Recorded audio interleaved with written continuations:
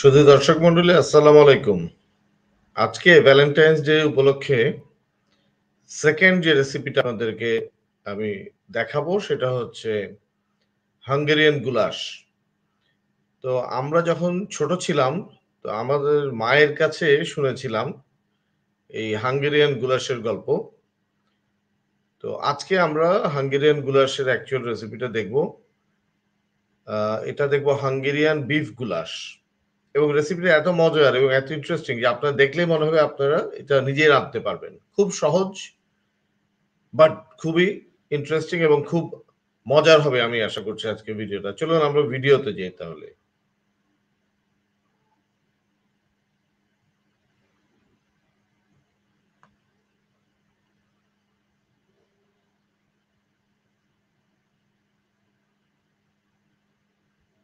শুরুতেই দেখতে পাচ্ছেন, এই যে বিফ নিয়ে বিফ কাটছে, এক কেজির মতো বিফ নিয়ে বিফ কাটা হচ্ছে। এখন বিভিন্ন সবজি এবং আলু, পেঁয়াজ, মরিচ, এই যে শুরুতেই দেখেন পেঁয়াজ কাটছে।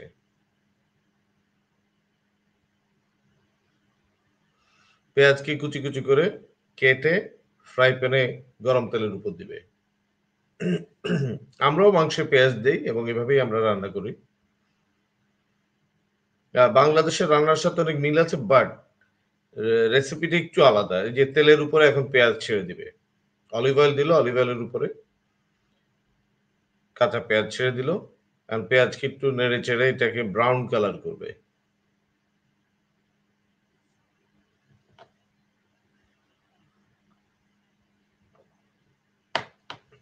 পেঁয়াজের উপরে দুইটা রসুন রসুন স্ম্যাশ করার যন্ত্র দেখেন, খুব সুন্দর। আমরা রসুন বেটেও দিতে পারি। দুইটা রসুন দিল, পেঁয়াজের উপরে, আবার এটা একটু নাড়াচাড়া করবে। এখন মাংসটাকে ছেড়ে দিতে হবে পেঁয়াজের উপরে। এখন একটু মাংসটাকে নাড়াচাড়া করবে। পেঁয়াজের উপরে এবং এই যে দেখেন মরিচ কাটছে। এই রেসিপিটা মূলত হাঙ্গেরির। গুলাস হাঙ্গেরিয়ান গুলাস এবং দেশের নামেই এই রান্নাটা হাঙ্গেরিয়ান গুলাস আমরা হাঙ্গেরিয়ান গুলাসের বিফ গুলাসটা দেখছি। এই দেখেন মরিচ দিল, এখন গরম মশলা দিচ্ছে।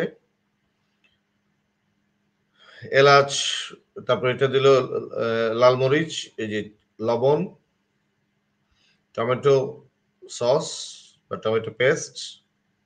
এখন যা দিল, এই গরম মশলা দিয়ে এখন পুরোটাকে নাড়াচাড়া করছে। এই যে দেখেন কালার চেঞ্জ হয়ে গেল, সুন্দর দেখাচ্ছে মাংসটাকে।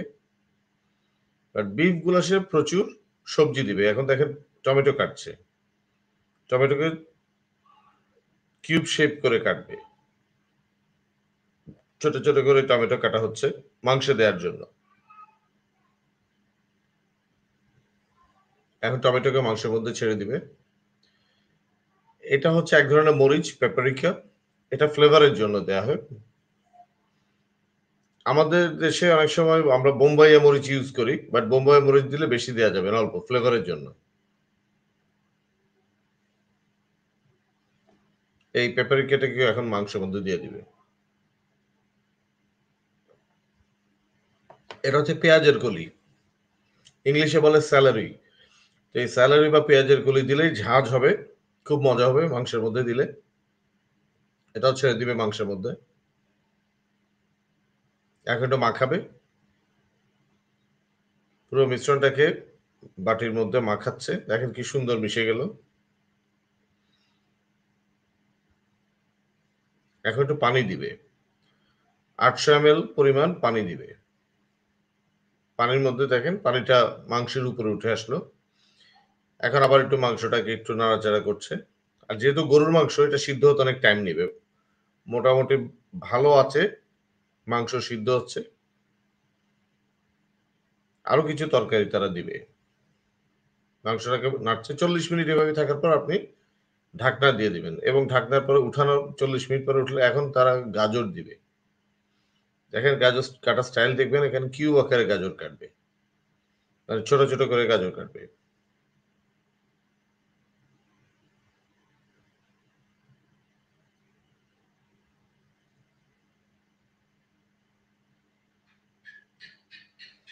গাজর কাটা হয়ে গেলে এখন এগুলো মাংসে দিয়ে দিবে।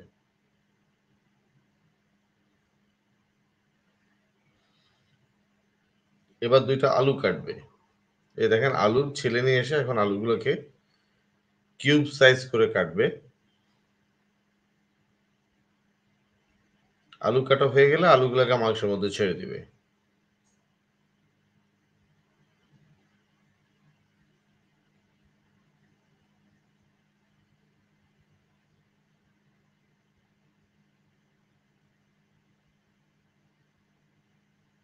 এখন মিশ্রণটাকে ভালো করে মেশাতে হবে। দেখেন মাংসের কালার কি সুন্দর চেঞ্জ হয়ে যাচ্ছে। এখন সবকিছু দেয়া শেষ। পনেরো মিনিট চুলার উপর রাখবে। এখন একটু পুদিনা পাতা কেটে দিবে। আমরাও দেই, মাংসের মধ্যে আমরাও পুদিনা পাতা দেই। কুচি কুচি করে কেটে এখন মাংসের মধ্যে ছেড়ে দিবে। আবার জন্য নাড়া দিচ্ছে। এই রেসিপিটা খুবই সহজ। মাংসের মধ্যে অনেক তরকারি দিলে যে দেখেন, পনেরো মিনিট পর নামিয়ে আনলো চুলার উপর থেকে। এই যে হয়ে গেল আপনার হাঙ্গেরিয়ান বিফ গুলাস আমার কাছে কিন্তু দেখতে খুব ভালো লাগছে। দেখেন বাটিতে যখন সে বাড়বে, কি সুন্দর ডিফারেন্ট কালারের গুলাস বের হচ্ছে। আমি শিওর এটা খেতেও খুব মজা লাগবে।